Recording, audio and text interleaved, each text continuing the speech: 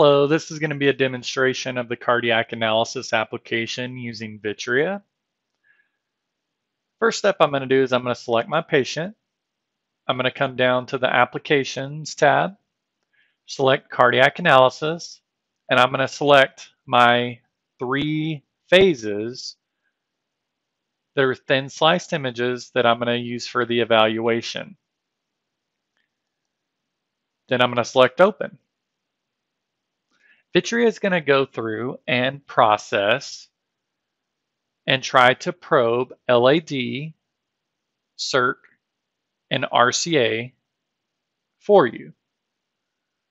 Once that's done, you will have a curve planar viewport at the bottom right of your 3D layout. Now we loaded in three phases. The three different phases are going to be located in the upper right hand corner. You can toggle through the different phases to see which one might have the better image, least amount of motion, the one you want to look at to investigate.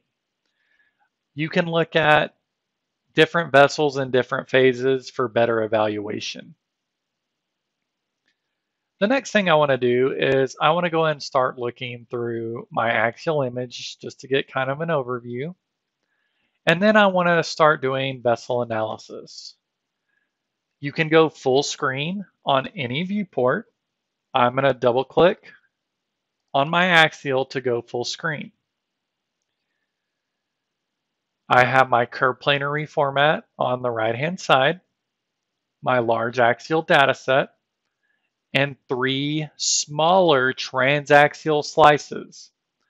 Those transaxial slices correspond to where this blue hash on the curve planar intersect that specific vessel. Now this is a little bit small to see. To enlarge this, at the top of the viewport, you have a minus, a plus, and a little squiggly line or lightning bolt. If you click that, that's going to enlarge the CPR to fit the screen. On the left-hand side of the screen is showing you which vessel we are currently looking at. We have the LAD, the RCA, and the CIRC. I'm currently going to look at the LAD. I can rotate around that vessel 360 degrees by the slide bar located at the bottom.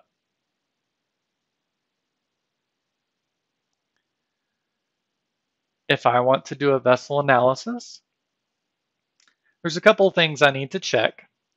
The first thing I need to check is the center line that Vitrea selected for me. To do that, I'm going to right click and select Edit Center Line. That will then pull up a green center line that was utilized to probe this vessel. If I need to change anything, I can single left click points to edit that line. I can put as many points as I want.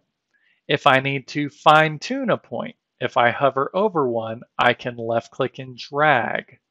I want to make sure that's not touching that calcification there and that my little point is going down the center of the vessel lumen. When I am happy with my point placement, I'm going to come down to the bottom and select apply. That's going to edit that line.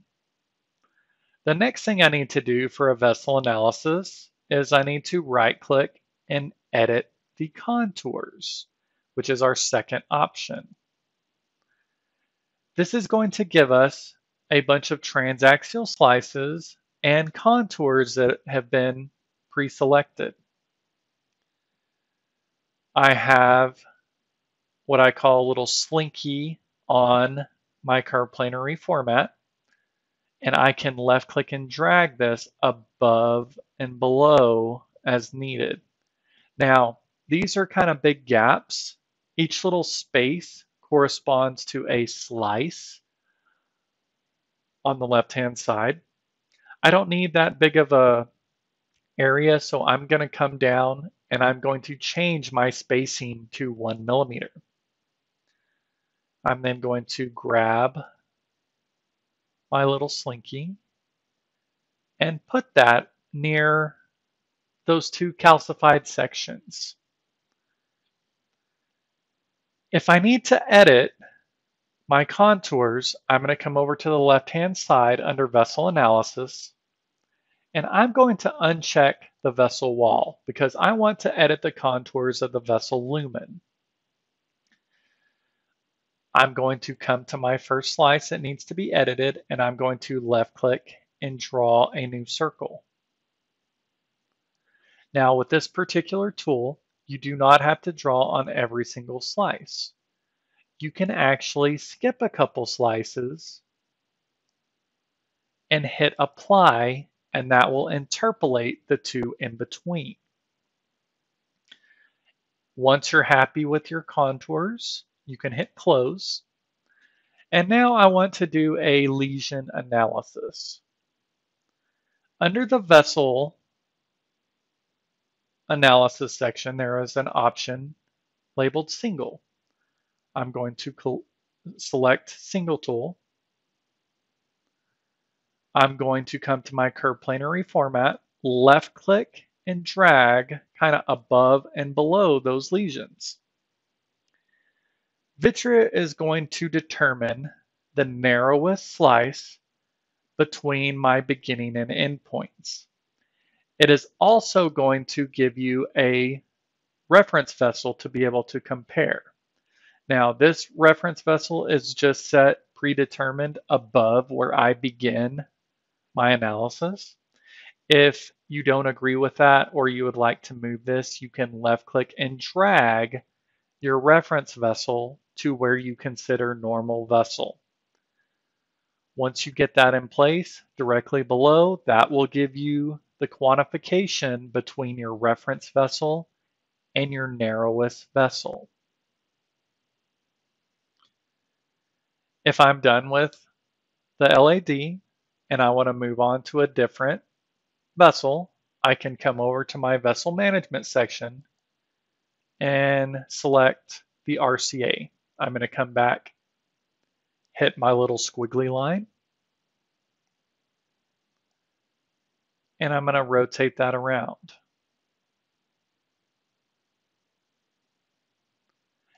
You might want to check the other phases to see if one is better than the other. Now, if we look at this particular phase, the RCA did not track as far as it did on the other two vessels. You could investigate the RCA in a different vessel in that circumstance, or we can go through and check to see where Vitrea stopped. And then if need be, we can also extend that vessel. A good way to determine if anything has been included or excluded is to come over to the anatomy management file and under vessels, there's a box directly next to it labeled tint MPR. If you select the tint MPR, this will allow us to do a couple of things. It will allow us to either add on an additional vessel that Vitrea didn't pre-process, or we can extend a vessel as well. So if I scroll up and down, anything that is this reddish pink has been vessel probed by Vitrea. Anything that is not has not been probed. I can see some of my diagonals have not been selected because they're not this reddish pink. I can scroll through, follow my RCA, and see it kind of stops right here in the middle. If I would like to go ahead and extend that vessel, under vessel analysis, there is a button labeled extend. I'm going to select that and I am going to click on my 2D image where I would like that to extend to. If you notice now that has been the color is changed, so that has been added. I can continue to follow that down.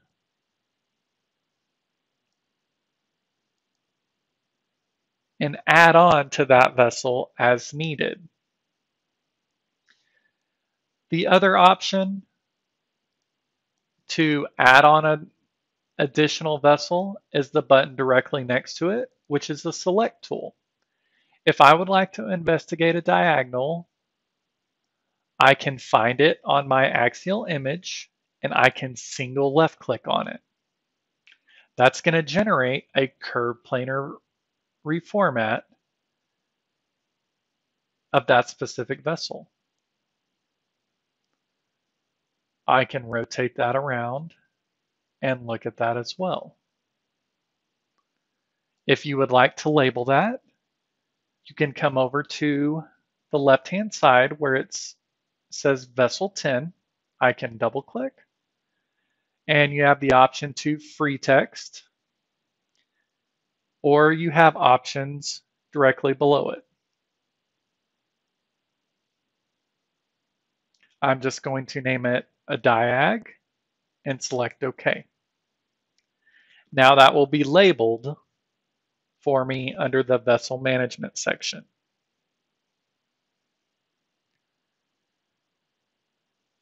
I'm going to turn off the vessel tint and just to demonstrate some of the additional layouts that you have available to you, I'm going to switch to the LAD. This is a three box layout. You have different layouts at the very top of the screen. This is a large transaxial slice. The next is kind of like a simulated cath type view showing the LAD. And then you have a matrix with transaxial slices.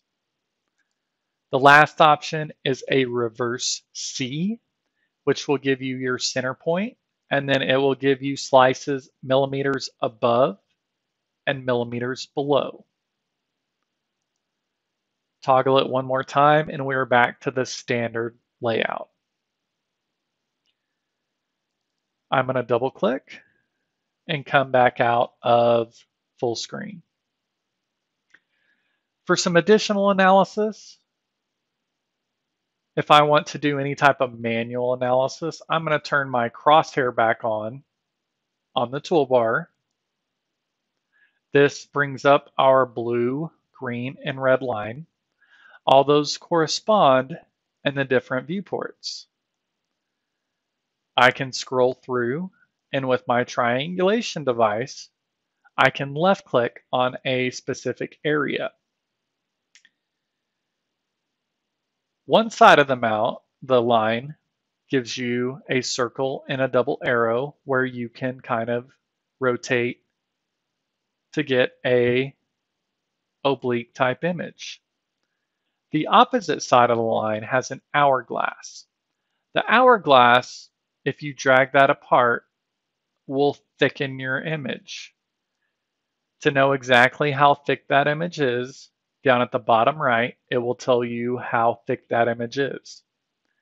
You can also single left click on that to have a set of presets, or you can select back to native thickness quickly. If I'm parallel with my LAD and my axial viewport, I can then do a double oblique and come up to my coronal to kind of straighten that vessel out. That will also give me a transaxial image in my sagittal plane. Something that, that can be useful is sometimes I like to close the crosshair. If you hit H on the keyboard twice, that will close that crosshair and show you exactly where you're at. You can toggle that on and off to look at the vessel as needed.